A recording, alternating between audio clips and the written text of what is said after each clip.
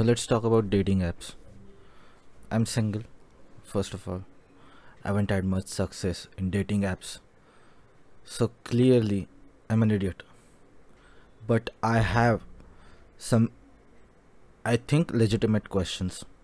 I have some legitimate questions about this whole world of online dating and dating apps. And I want to ask these questions. I want to address my concerns in this episode. So, online dating has existed long before you know Tinder or Bumble and all those other apps. There have been many websites. For example, uh,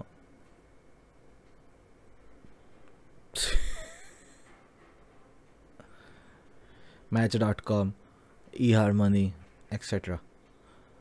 There are these are like mainstream. OkCupid is big one. These are mainstream like dating apps or dating online dating services before Tinder and Bumble. There are also like some niche niche date dating services. For example, Yate.com and JD Date. Yate.com and JDate for Jewish people. Shaadi.com and Jeevan Saathi and Bharat Matrimony for arranged marriages in India. Then online online male brides, male, not in not male as in email, male, not the male, male female, but male brides in Russia. That there's also other websites like Ashley Madison for cheaters. So online dating has existed long before smartphones, but there have been social media websites as well before smartphones and a lot of people treated the social media to meet new people not just for friendships but for love as well. Facebook is a big big platform when it comes to meeting new people for dating. Instagram uh, is also there but let's talk about facebook first okay you can find friends based on how many mutual friends you have on facebook. You can see each other profiles what you like and dislikes. Kind of like kind of like a dating profile you know facebook profile. You can see their thoughts and photos on their uh what it's called feed. It goes by different name. It was once upon a time it was called wall. It was called timeline. I don't know what it's called currently because I, I don't use facebook nowadays you can also see like uh, you can also see that person completely. They have also bios. They have birthdays if you're into astrology and all that zodiac signs all that. So you can send friend request to that person and you can start talking on chat features with on facebook. And uh, messenger facebook messenger if you're using phone if you both like each other enough then you can set up a date and go on date. Instagram same thing. You can instagram is basically dating profile. With they have short bio have photos and they have captions on underneath those photos. And with instagram dms you can start talking to people and then you can then you can meet extremely similar to modern dating apps. But still many prefer prefer proper dating apps special dating apps. So what are special dating apps? Rather big three of dating apps. First one is tinder. Tinder started in 2012 and it was called matchbox. User had to click a green heart or red x to match or move on from a displayed photo Tinder became first swiping app. You know all the swiping left and right.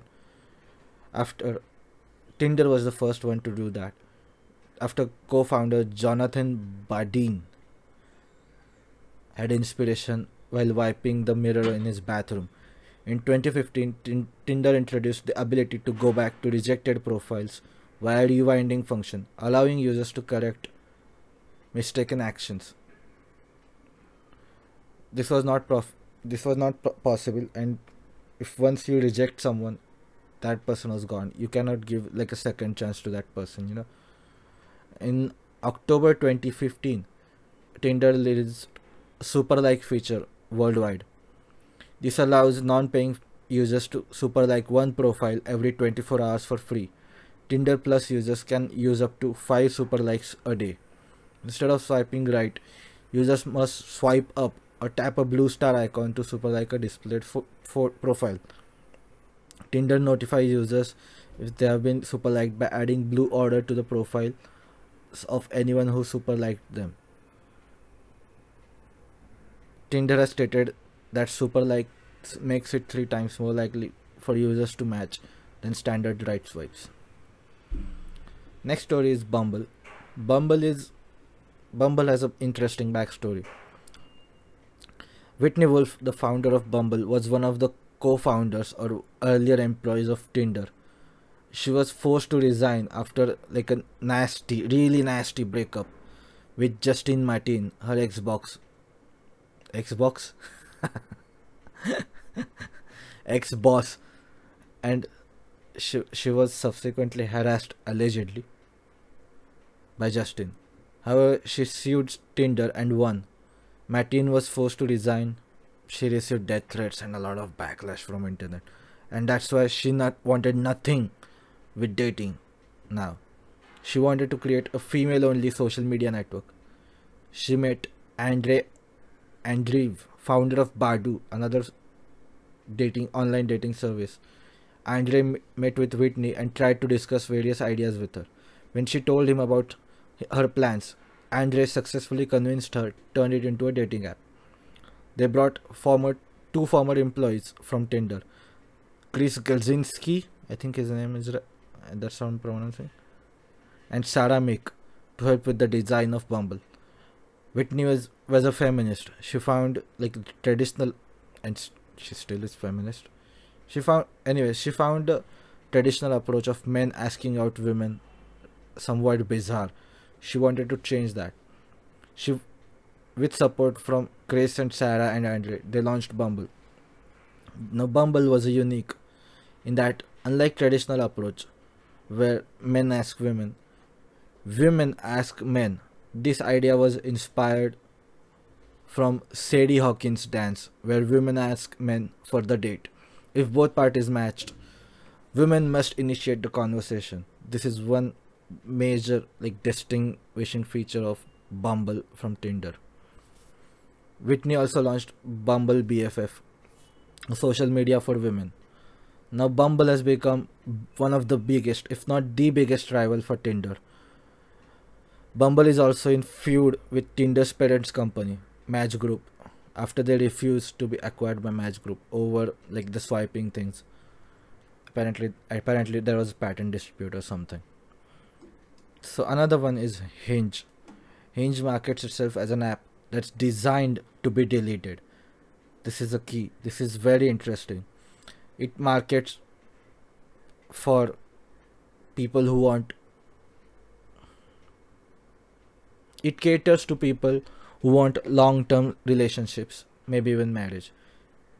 Hinge is preferred by younger demographics, even though preference for long, even though it has preference for long-term relationships, is, which is you, what usually old people want. You know.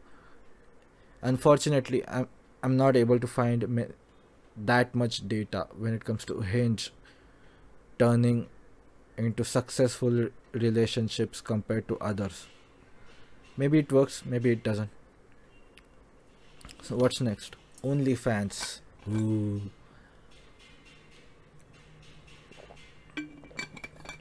So all these apps become mainstream, right? But they couldn't handle the loneliness of the pandemic, COVID pandemic. It was rough. It was, and it still is rough. This pandemic forced people to stay away from other people. A lot of people lost their jobs during pandemic. The conditions were set for rise of personalized adult media platform, and OnlyFans was that platform. Many people who lost their jobs became became creators on OnlyFans and started earning a lot more money than what they were earning from their previous jobs. Clearly, there's a market for paid adult content, even though many adult websites are free, you know. that's the that's the one success that baffles people about OnlyFans. That's the success of OnlyFans. So everything is free on the internet. So why pay when it come? Why pay for OnlyFans? You know. So, like all those people are the people call them sims or incels or whatever. Like why pay pay for content when when you can get it for free? And it's legitimate legitimate thing, you know. Why pay for content when you can get it for free? But here's the thing about OnlyFans. OnlyFans is personalized adult media platform. So you can ask people ask your creator what you huh, how do I put this? You can send a personalized media order uh, to your favorite OnlyFans creator. So whatever whatever your kinks have, whatever issues we have, you can say that on you can ask OnlyFans creator. You cannot ask your porn stars about certain scenes. You can ask OnlyFans. If they accept it, they can give it to you. So this is this is the one big feature that distinguishes OnlyFans from traditional adult content. Personalization. Personalization of content. That's the big feature of OnlyFans. Remember that. The uh, one of the main issues with OnlyFans is that some creators are happily married or in a monogamous relationships. And audience eh, not so much. Audience they although they either want to be in relationship or they are already in relationship in someone and they want some personalized they want to express their sexuality or whatever. So in a way like only fan creators are like digital girlfriend or boyfriend in fact that's how a lot of onlyfans creators describe themselves. So are you really cheating with uh, with your partner? With a digital boyfriend girlfriend? I don't know. What if you're single and you're paying money to onlyfans creator? Do you are you feeling led on? Do you fe- do you think you can get somewhere with your onlyfans creator are you see that's the that's the ethical complications that OnlyFans introduces. You don't know how to get around this. There are too many answers, there are too many perspectives, there are too many approaches to see all these issues. Maybe I'm overthinking too much, maybe I'm worrying too much, but these are the issues that we need to address about OnlyFans. So, what about issues? What about the issues I have with online dating? Well, number one, first impressions are everything. Since you're swiping left and right on your profiles, you know, it is important that the profile that you create leaves a strong, strong first impression. First impressions, of course, they're not everything. You may like someone, you may have positive first impression of someone, but later you find out find out that that person is jerk or bitch. You know, you can rent rent a Lamborghini if or Audi or BMW, shoot a few photos and post that on OnlyFans. Well, not OnlyFans, but dating apps. Of course, you're gonna attract gold diggers, you know, but but you're also misleading some people about your financial status. You're wasting their time. Of course, people can be deceived about looks as well with makeup, face filters, Photoshop, etc even when you're not deceiving okay? You think oh i'm being honest. I'm, I'm not trying to deceive someone. You're trying to show your best self your best moments your best you're trying to create a best impression. So even though you're not trying to be deceiving in some way in really subtle ways you kind of are being a deceiver think of your think of your profile as an online ad of sorts for your profile for your dating profile. Sort of like a like male brides. M a i l brides.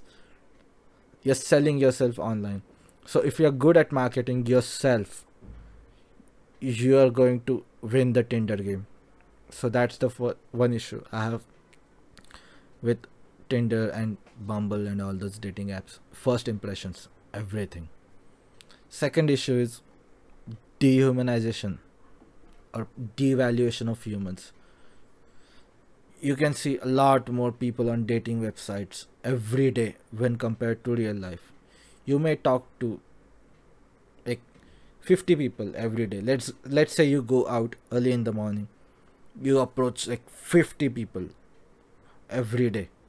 You can get phone numbers of 10 people 20 people but you can swipe hundreds of profile within a few hours and message more people than you'll be approach approaching more people. This creates like a marketplace mentality where you want to swipe as many profiles as possible to increase your chance of getting dates. Guess what you are also being swiped left and right by hundreds of people. So you you consider other people as options you know? You're just an option to them as well. This is this is what i'm trying to address. This is what i'm talking about when it comes to devaluation of humans. This is what i'm trying to tell when i when i say de- dehumanizing dating apps are like shopping mall where you can shop for people for dates you know? That's the marketplace mentality. Call it ego entitlement. I don't want to be an option. I don't want to be like an option of thousands of people among thousands of people. I want you to invest in me because i also also want to invest in you. Well not just financially but emotionally. I am i have just too much of an ego to be just swiped left and right you know. I want i want long term relationships. I don't want just hookups. I know that my value as a human being and i know other people's value as a human being. We are not options. We shouldn't be considered options. That's why the whole dating apps i'm not that's the big reason that i'm not a fan of online dating and dating apps. That's the big reason. Another financial financials. Let's talk about people's success versus business success. Most dating services monetize and run their businesses through multiple ways. Some provide a free option and subscription option some of them provide a free option with ads. Like facebook for example. Facebook is a social network not not a dating service. But yeah that's but you you can use facebook as a dating service. So some free options show ads. Some services are subscription only. Either way it is in business interest to keep people using that service as long as possible whereas most people are going to be happy with long term relationships and monogamous relationships. People in relationships they are going to move on from dating apps to use apple messages whatsapp or other messaging services like they do with family and friends. That's one one other big issue i have with dating apps. Business interests are mostly at odds with the interests of people. Business interests say that you want to keep people using that service as long as possible whether whether to show them ads whether to keep make them keep paying for the subscription. So even if you you, you might be an employee of those dating services you and you go what? That's rubbish. We just want to connect people and make them happy. Sure. Sure. But you're the venture capitalists and shareholders who are invested in your company or those dating companies. They want maximum profits above everything else. Like all people who invest in everything.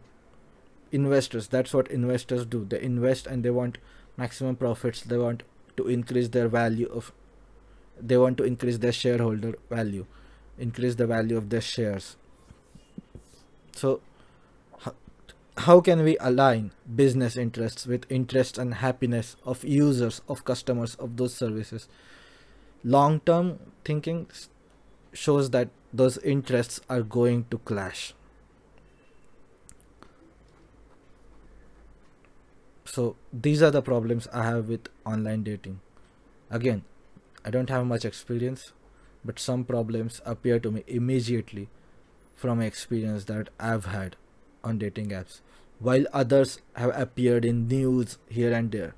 I'd love to talk to people who can talk me out of this and give me a legitimate opposite perspective. Yeah. So that's why i'm not interested in online dating or dating apps even if i'm single. Thank you so much for listening